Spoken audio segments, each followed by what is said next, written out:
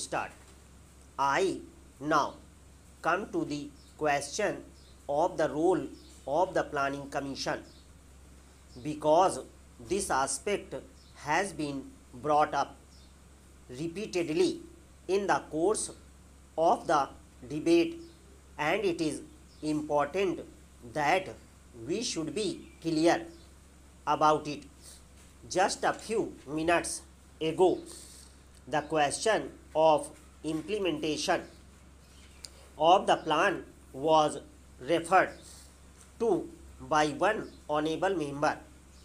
It is natural to speak about the planning commission, but it has been mentioned in the wrong context that is in the context of implementation so far as getting the blame for itself is concerned.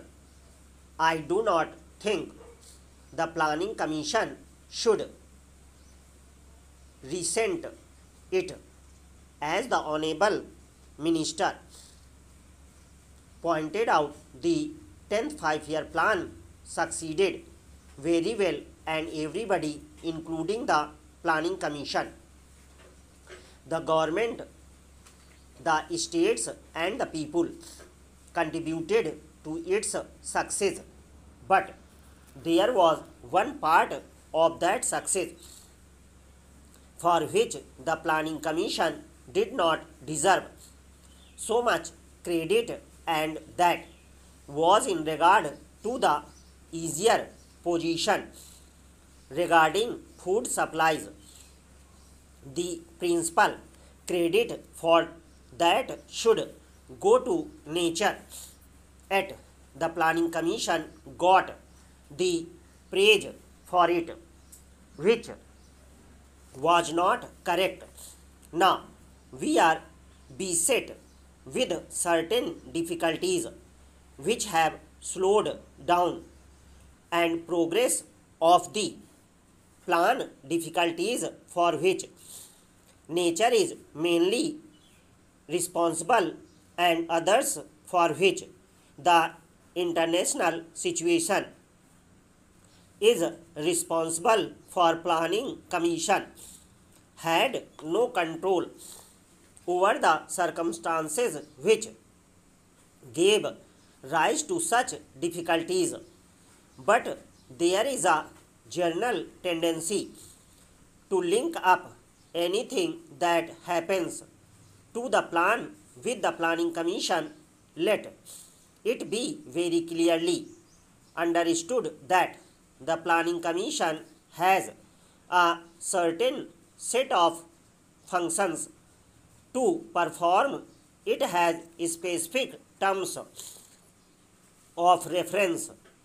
There is a misapprehension which seems to be fairly widespread that the planning commission has the responsibility for the execution of the plan schemes.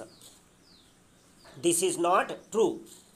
The planning commission no doubt makes an assessment of the resources determines priorities formulates the plan and reports on its progress from time to time.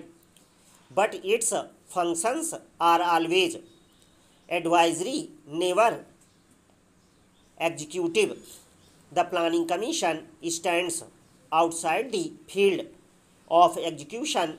I do not disclaim responsibility for anything that goes wrong with the plan or for any failure because I stand here not only on behalf of the Planning Commission alone but also on behalf of the Government of India. Therefore, if anything has gone wrong, we are responsible for it and nobody else. When we are discussing the planning commission, it is proper that this demarcation should be kept in view. So, as to what the planning commission stands for and can bear responsibility, there were two main suggestions as to what the planning commission should do. One was that since the planning commission has formulated the plan or proposed the lines on which it should be reappraised, it should extend its responsibilities to the extent of ensuring that the policies recommended by it are properly implemented. This goes for beyond the legitimate functions of the planning commission. Ours is a federal constitution and the powers of the union and the states are clearly laid down. There are various governmental and other non-official agencies to execute the plan. They must accept responsibility for those parts of the plan which concern them. The Planning Commission does not possess the necessary machinery for the execution of the plan.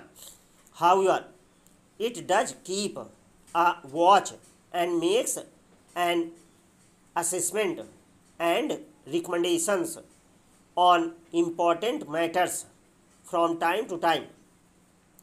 But that is all that it can do. There is also another suggestion made by some members about the revision of cost estimates in the case of several projects. It was suggested that the Planning Commission itself should see to it that the cost estimates are kept within proper bonds and do not increase beyond a point.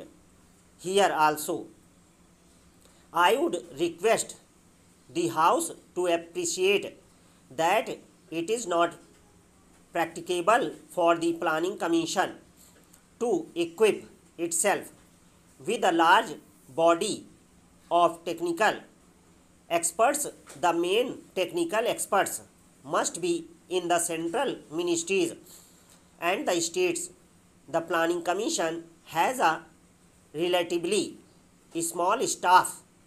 It has made some arrangements for technical scrutiny of irrigation and power projects, but for various schemes in the field of industry, mineral development and transport, the Planning Commission depends on the technical personnel of the ministries and the arrangements which the ministries themselves make for further technical examination.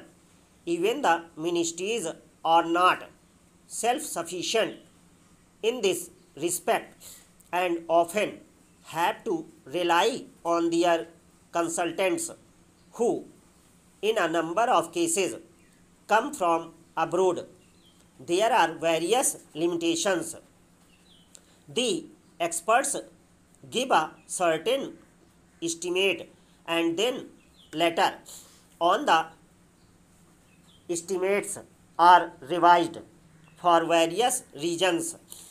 May be that after a fuller examination certain other material facts are revealed which necessitate a revision in many cases the upward revision in costs has been due to an increase in prices of machinery and equipment specially those imported from outside, which has occurred during the past two years. In some cases, the rise in prices is also due to some other factors.